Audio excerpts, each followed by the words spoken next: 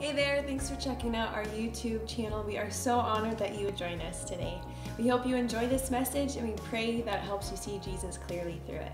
Good morning, Anchor Church. Thanks so much for joining us.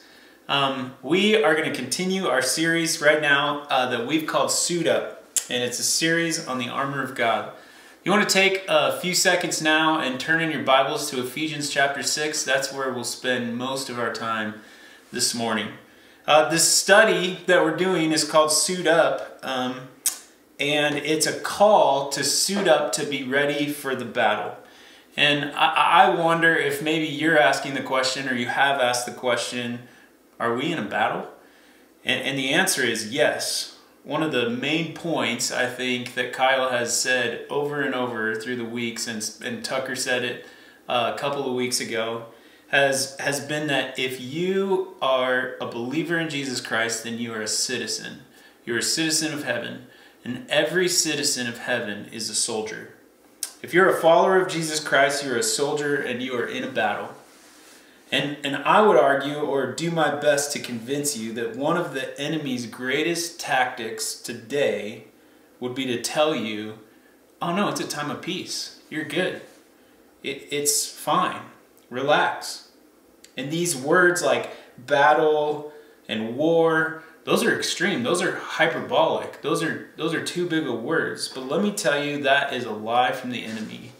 That God says that we are in a battle. Let me let me read Ephesians chapter 6, just the uh, verses 10 through 12 for now. And it says, "Finally, be strong in the Lord and in the strength of his might. Put on the whole armor of God that you may be able to stand against the schemes of the devil. For we do not wrestle against flesh and blood, but against the rulers, against the authorities, against the cosmic powers over this present darkness, against the spiritual forces of evil in the heavenly places. Just uh, for the sake of review this morning, let me say God has an archenemy. And, and under his power are countless demons and minions. And Satan is seeking to overrun the world with evil and to exclude God from his own kingdom. His desire is to steal, steal kill, and destroy. And, and, Paul is doing his best here in Ephesians, um, and, and we are doing our best here at Anchor Church to express to all of us that we do face opposition in the Christian life. And it's not politicians, and it's not people who don't agree with us, and it's not people who have hurt us, and it's not your kids, and it's not Hollywood, and it's not your boss, and it's not social media influencers or whatever. It is Satan and his demons. And, and I love the way, actually, that the message paraphrase puts verses 10 through 12. It says this, and that about wraps it up. God is strong, and he wants you strong. So take everything the Master has set out for you well made weapons of the best materials and put them to use so you will be able to stand up to everything the devil throws your way. Here, here's a really cool part it says this This is no afternoon athletic contest that we'll walk away from and forget about in a couple of hours. This is for keeps, it is life or death, a fight to the finish against the devil and all his angels. I, I know this isn't like sounding like great news right away, but if you are a follower of Jesus, you are in a war and Satan is in direct opposition to you. I, it's a hard word, and I, I think um, potentially you might be thinking, I should turn this message off, bring Kyle back, bring somebody else back. This is the wrong guy. But just just wait a minute because there is actually really good news hidden in here, but it may feel like right away, ugh, I don't like this. And, and I know we've been saying it for weeks, but I, I really think it's important to remind us that before we move into the next piece of honor, or sorry, armor, it's very important for us to remember that we are in a war. We're in a war. The context of our spiritual growth as believers is a war zone. Um, think, think about that for a second. The context of discipleship or your growth is not a nice coffee shop or your living room where you are this morning or next to a fireplace. And though those things might help you to concentrate or get ready to read your Bible or whatever, and physically that may be where you're at, but spiritually, the context of your growth in Jesus is a war zone. And here's why that's true Satan does not want you to grow in your knowledge and your love and your stature and your holiness with the Lord. He is not okay with your relationship with the King of the universe, and he will do everything in his power to tip you over. That sounds like a war. Here's the second thing. So we're in a war, and the second thing is we are in a war in which we need the Lord's strength to win. And, and to me, this is where the good news starts to really uh, creep up for us. This is really important. This is not a war that you and I have the native capacities and capabilities and equipment to win. Our strength is inadequate. You may be saying, okay, well, where's this, this good news? And so Paul writes actually in verse 10, which we've read already, but it says, Be strong in the Lord and in the strength of his might. So we are in a war, one. We do not have the strength to do it, but it calls us to be strong in the Lord and the strength of his might. And then three, the third thing is we have to put on God's armor in order to stand against the devil's schemes. He, he is after you. We are in a war we have to put on God, God's armor. Now, notice the language put God's armor on. We're to put on the full armor of God. It isn't prepare yourself for battle with these pieces of armor that you can find if you go on a quest that, to the ends of the universe. This is not armor you get to go buy at the store. This is not armor that you find at Bible college or in Awana or whatever else that you think where this God's armor is. This is God's armor. It, it's, it already exists. He has already created it. It is infinitely better than any armor you could prepare for yourself or create for yourself. In, in fact, God has worn it himself. Look at Isaiah 59 17. I know we've looked at this in the past weeks too, but Isaiah 59 17, where it says this about God He put on righteousness as a breastplate and a helmet of salvation on his head. He put on garments of vengeance for clothing and wrapped himself in zeal as a cloak. Why does this matter? Why does this matter so much in review? Why are we going backwards at all in this? Why does this matter? It's because you need to know that this is God's armor that He has worn. it, it isn't your well made armor that you've built up. I would be overwhelmingly terrified if the verse said, finally, take up the armor that you should have been collecting and building up since you put your faith in Jesus Christ. Because sometimes I just don't have it. I never have it. That, that would scare me because my self made armor is not good. My, my skills and abilities and efforts are an absolute veneer. It's God's armor that we are asked to put on, already worn by Him, already created by Him, his to give, perfectly made to extinguish the fiery arrows of the devil, all powerful, perfect, without weakness. Notice the reason that we put on the armor of God too for this war. I'm going to throw these verses on the screen here and highlight what you what I want you to see. And that, that way when I ask you the question, what, what are these verses saying, you can just cheat and say, oh, I know the answer because I will have it highlighted. But verse 11 says, Put on the whole armor of God that you may be able to stand against the schemes of the devil.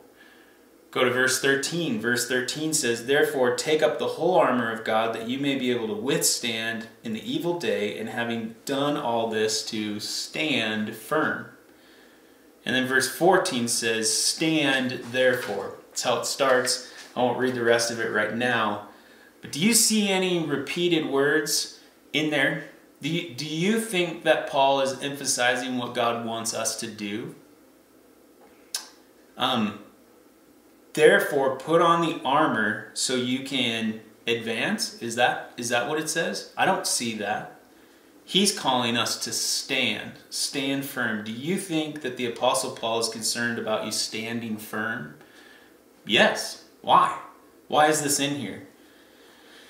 Because our task as believers is one of holding firm or standing firm. It is not a matter of advancing. And here's why God isn't that boss that wants you to come in on the weekends and finish the project so that he can get a raise or do better. God isn't uh, a tyrant who wants more ground. I want you to listen really carefully to this.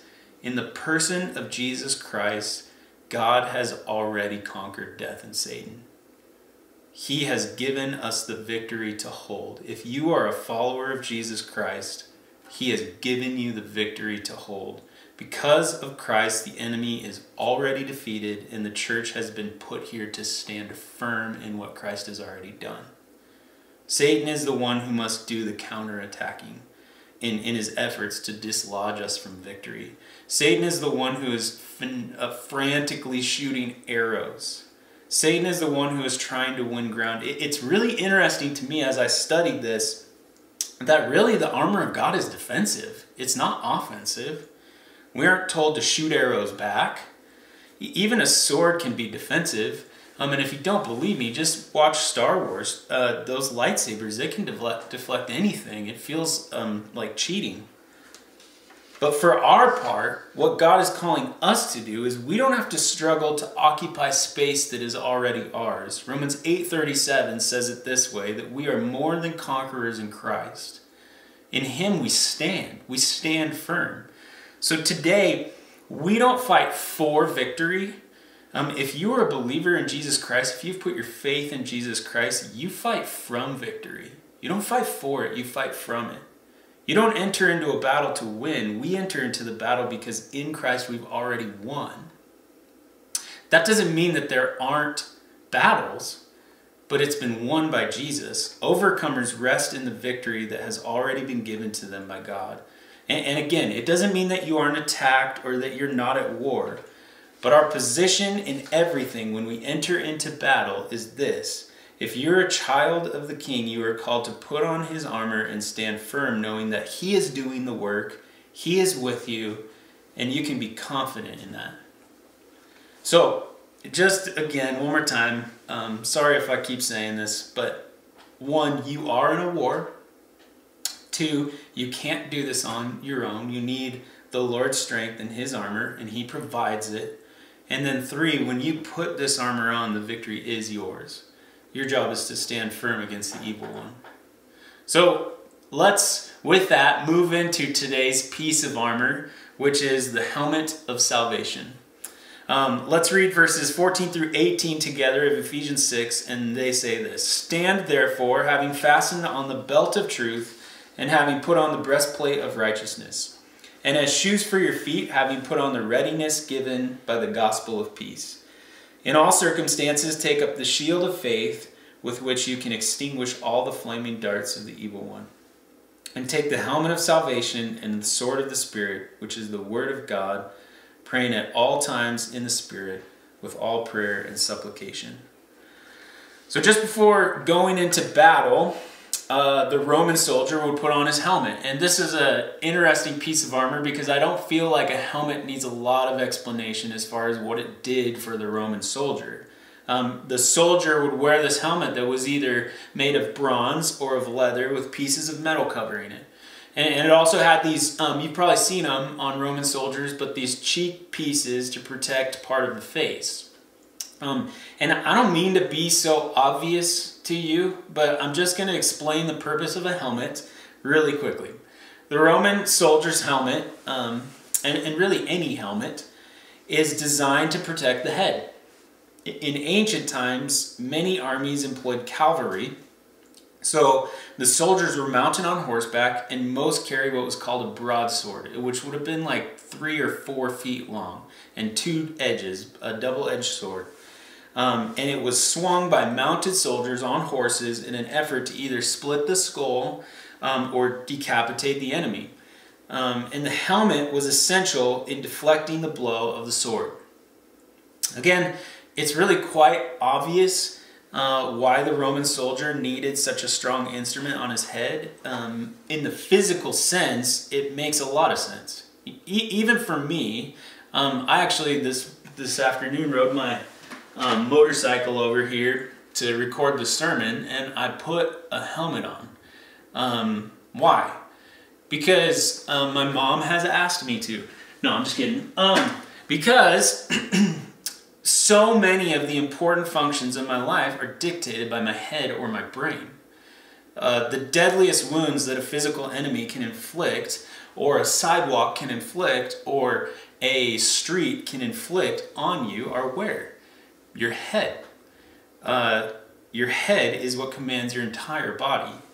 And this may be a little gruesome, hopefully not too much, but you can cut off an arm if you're a soldier or even me, uh, and I can still fight or still function. Be harder, sure. I can break a leg and I will heal. But if you cut off a head, game over. It's finished, right? Nothing much that can be done after that. So physically, the need of a helmet is very obvious. Helmets really don't need much explanation, do they?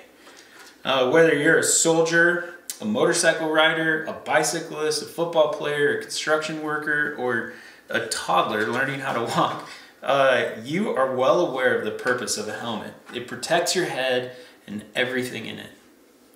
But what it is the sense of the spiritual truth that Paul is wanting to convey to us today? I think there are a lot of lines we can draw here, but I'm going to say it this way. I think the text says that the spiritual helmet that we are to wear, it's obvious, this is what the text says, is our spiritual battle, in our, into our spiritual battles is the helmet of salvation. Meaning, if you are saved, if you have put your faith in Jesus Christ as your Savior, you are clothed on your head with His salvation. This isn't just a mental thing, like I know. This is a physical, I am saved, I am covered. It is God's promise and His armor that covers your head.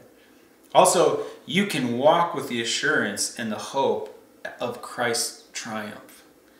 But needing to have this helmet on your head indicates something to me, and that is that Satan's blows are aimed at our minds. He's coming after your head, your mind. He is intent on destroying our sense of security and our assurance in Jesus Christ. He wants you to struggle here in your head with the truth that if you have confessed with your mouth that Jesus is Lord and you believe in your heart that God raised him from the dead, that you are saved. He wants you to struggle with that. If the devil can strike a blow against us that causes us to become discouraged and filled with doubt about our security in Christ, then he will have a little trouble sidelining us and taking us out of this battle where we are called to stand firm. How does he do this? I think he has a broadsword with two edges. And I think the way he does it is through discouragement and through doubt. That's his broadsword. Two different sides. If, if you and I are not properly protected, the devil will use the sword of discouragement and doubt to defeat us in our walk with the Lord. He will cause us to look at our sins and our failures and our problems in our lives and our health issues and the coronavirus or any other negative situation that we face in life and when He gets our attention off the Lord and on the negative issues that we face in life, He knows we will begin to doubt God's love for us. Believer, if you're a follower of Christ, let me say this to you. Satan may disrupt your daily victory. He might. Uh, he probably will. But he can do nothing to disrupt your position and your identity in the Lord Jesus. Remember that. No matter what he says, no matter what he does, he cannot change the fact that Christ died for you and that you died with him when you gave your life to Jesus. And he cannot change the fact that Christ has risen and that you have risen with him when you gave your life to Christ. He is able to save you. But if the enemy can get you to believe for one moment that you're not strong enough in Christ or that you're not doing enough in Christ or you're not whatever enough, if he can get you to believe that for one moment, that, that you're not on victory ground, he has you sidelined. The helmet of salvation is God's salvation. You can't earn it, you cannot fashion it. And verse 17 says it so clearly it says, All you are responsible for doing is to take it. You are just called to take it and put it on. God is your salvation Let that sink in. Put that on. Yeah, you may mess up. And, and the enemy will use that to make you think that you are not able to stand firm because guess what? You can't stand firm. You don't have that skill. But if you remember the truth that you are wearing the armor of God, that should change things. That is what causes you to have the ability to stand firm. No, you're right. You are not strong enough by yourself. Sure, the enemy can defeat you, he can. But the enemy cannot defeat God. And the enemy cannot defeat God's armor. And so the enemy cannot defeat you in God's armor because he cannot defeat God.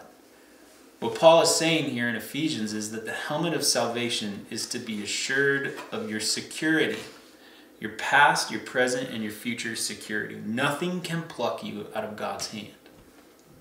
And he's saying, if you know that, just what is it that Satan can take away from you? What can he take away from you? If you know, if you wear that on your head that nothing can take me from God, what can Satan take from you?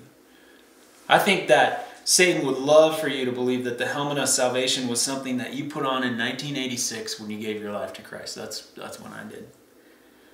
Or that the helmet of salvation was something that you put on in high school when you put your faith in Jesus.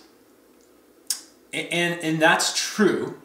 Uh, if you have put your faith in Jesus, there is a moment in time when you started to wear the helmet of salvation. You knew Jesus. You were saved by his grace. The helmet is salvation. The helmet is the knowledge and the assurance of your salvation. But there is one other thing that the helmet of salvation does for us as believers. The helmet of salvation is the sure hope of the future as well. It's definitely salvation for what God has done for you in your past or what He's taking you out of, but it is the sure hope of the future as well. I think the enemy can sideline people like us, if you're a follower of Christ, who believe their salvation was a moment 10 years ago. Yeah, I put on the helmet of salvation 10 years ago. That's, that's when it happened. I think the enemy would love for you to believe that that's all there is to it. But what about now and to the end? Satan would love for you to believe that, that you're, you're not going to get to the end, that things aren't as good as they should be. You're never going to be able to see this Christian thing all the way through. You're fa- falling at every hurdle. Or, or look where you are and look where everybody else is. And look at how you've been doing for a long time and you can't even make it through the first level yet. How are you going to even get to the prize? But if you could just, by faith, take the helmet, you would realize that there's hope not only for what Christ has done for you, but what Christ is coming to do. A biblical sense of hope doesn't mean, oh man, I hope that will happen. It is a sure faith upon the word of God that it will happen. Look at um, 1 Thessalonians verse, uh, uh, chapter 5, verse 8. It says this, But since we belong to the day, let us be sober, having put on the breastplate of faith and love, and for a helmet, the hope of salvation. Well, what is the hope of salvation? If you're a Christian and you've been saved, what is the hope of salvation? It is you or me saying, I don't, or, or actually, let me ask this question. Is it you or me saying, well, I don't deserve to be here? If, if you knew what I did yesterday, or if you knew the things I'm going through, or if you knew the temptations that I'm fighting against, uh, guys, there is hope in the coming of our Lord. There is hope in the salvation that is coming and in the salvation that we already have access to here's here's what's true for me. I will become greatly distressed and discouraged when I see the world around me collapsing and the culture collapsing, and I will begin to see my battle as a battle against flesh and blood. Unless the blessed hope of the coming of the Lord Jesus Christ is constantly on my mind. I encourage you and me to live looking for and believing in hope the blessed hope of Jesus appearing and calling us a home, the blessed hope of Jesus coming again. That, that's the hope of the helmet of, of salvation. Yes, the helmet of salvation is salvation, you're saved. But it is also the hope for what is coming. What can the enemy do to attack a person who has hope in the triumphal return of Jesus Christ? What can the enemy do to a person who is confident that their salvation and security rest squarely in the shed blood and resurrection of Jesus Christ? What can he do? You place that on your head, and he, he cannot make a fatal blow to you. He can't. I love uh, Philippians, the book of Philippians, but chapter 1, verse 6, which is such a, a coffee cup verse. I'm sure many of you have heard it, but it says this And I am sure of this, that he who began a good work in you will bring it to completion at the day of Jesus Christ. That is hope. Yeah, the good work has started yeah, he has saved you. Yes, he's not opposed to you even making an effort to be holy, but he is bringing you to completion. He has started the work and he will finish the work. You can be sure of this too. Again, if you have put your faith in Jesus Christ, he will carry you to completion. When you have the helmet of salvation on your head, you can see that Jesus will bring about the good work to completion. That's hope for the future as well. He will. He is doing it right now, and he will continue to do it. The, po- the point behind a good helmet is that it is an absolute confidence builder. Obviously, the main point is that it saves your head, but it's also an absolute confidence builder. I love riding my motorcycle, but if I'm not wearing my helmet, man, the whole time just wondering what if I hit a rock? What if I slide on some gravel? Driving extra slow, being extra careful, probably actually making it more dangerous for myself. But I'm just terrified. Because one small mistake and that could be it for me. A good helmet builds hope and confidence. And let me ask you this How is your confidence in the Lord Jesus? You need the helmet. You need the helmet. I need the helmet. Can I uh, just take a minute here to speak to those of you who may be watching, um, who maybe don't have the helmet of salvation because you have never put your faith in Jesus Christ? Let me say, Satan is going for your thoughts and your mind and your intellect and your reasoning too. He's attacking you too. He wants you to think incorrectly, to doubt and to be in despair. And the Bible actually says that the God of this age, which is Satan, is blinding the minds of the unbelievers. He, he wants to attack you. Jesus wants hope for you. Jesus wants peace for you. And Jesus gives those things to you. And the helmet of salvation is for you as much as it is for me. And maybe, just maybe, God is reaching out to you right now and you feel desire to put your faith in Jesus. I want the helmet of salvation. Maybe you're saying that because you want the hope of salvation, both now and in the future. Well, you can have it. You can have it. I love verse 17 of Ephesians chapter 6, where it starts talking about the helmet of salvation, and the word that it uses is it says, and take the helmet of salvation we, we could maybe more accurately say the Greek word for take means to receive. Receive the helmet of salvation. Because salvation is not won by efforts of our own, but if we ever possess it, our possession is the result of our accepting it as a gift from God. The very first word that God would speak to you is not do this or don't do that, but take this Take this from the hands that were nailed to the cross. Take it. Take the helmet of salvation, the beginning of all true life, of all peace, of all self control, of all hope, lies in the humble and repentant acceptance of the free gift of salvation, which Christ gives and which he has nothing, or which, sorry, which you have nothing to do but take. Take it, receive it. And and I'd like to speak too for a minute to those of you that know Jesus and you're a follower of Christ and you're a believer in Christ. And you've received the helmet of salvation, you've taken it. Your battle today is a war against your mind. It's a war against your mind. It's a war against Satan who's attacking your mind. What are you renewing your mind with today? What are you renewing your thoughts with today? The helmet of salvation offers you protection of your thoughts. Are you putting that helmet on? Are you renewing your mind with the reality of who God is and what he's called you to? Look at 1 Peter chapter 1 verses 3 through 5. They say this. Blessed be the God and Father of our Lord Jesus Christ. According to his great mercy, he has caused us to be born again to a living hope through the resurrection of Jesus Christ from the dead, to an inheritance that is imperishable, undefiled, and unfading, kept in heaven for you, who by God's power are being guarded through faith for a salvation ready to be revealed in the last time. Let me say this to you if you're a follower of Christ, if you are struggling to stand firm, putting on the helmet of salvation, if you are feeling discouraged or displaced, or even if you are in a good place, Peter addresses and he brings home the truth right away about what we have in Christ. We have a living hope based on the resurrection of our Lord and Savior.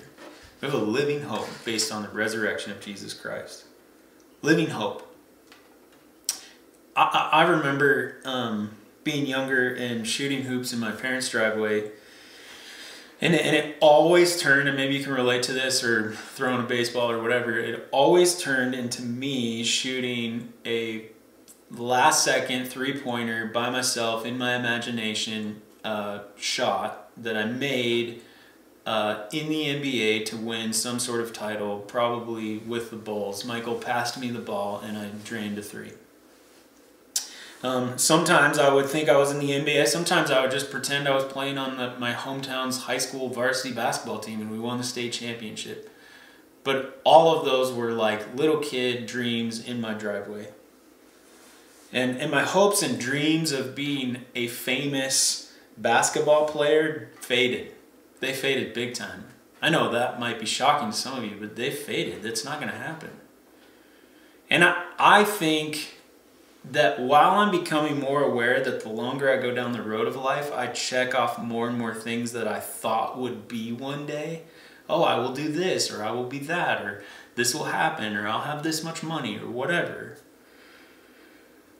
I check those things off my list that I thought I would do one day, but I found that the longer I go down the road regarding my spiritual life, the opposite is true the more I know Jesus, the more I realize that my hope doesn't lie here. It does not lie in Missoula necessarily. It does not lie uh, in this life, physical life necessarily. It does not lie with um, me being on a varsity basketball team or making $10 million. My hope is in heaven.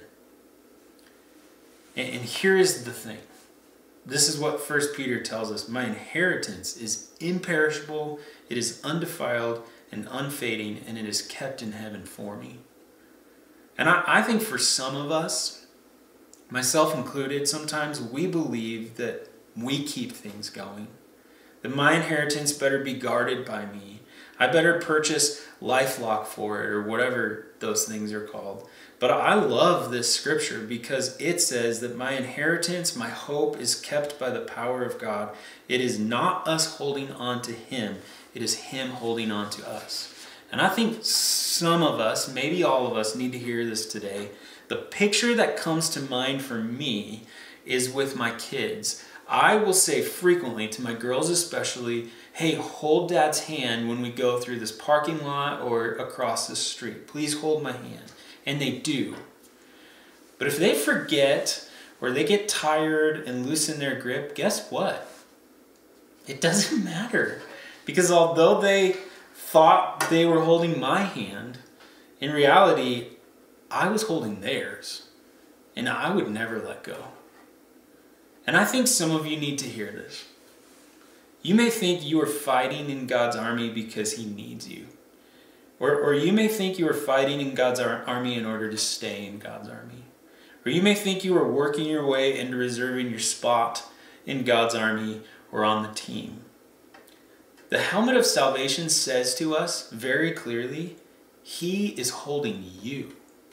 You're not holding his hand, he's holding yours. He is keeping you in his power. His salvation has been given to you. All you had to do was receive it. And I hope that gives you extreme hope this morning. I hope that that covers your head with so much clarity and hope this morning.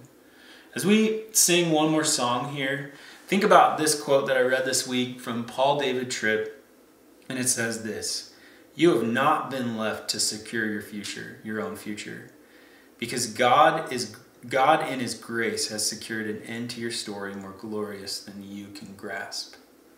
This is the assurance that you and I get when we take into battle the helmet of salvation. Well, we hope you enjoyed that message. We pray it blessed you. If you'd like any information on Anchor Church or to get connected, go ahead and visit us at www.goanchorchurch.com. We will see you next time, and we hope you have a great rest of your day.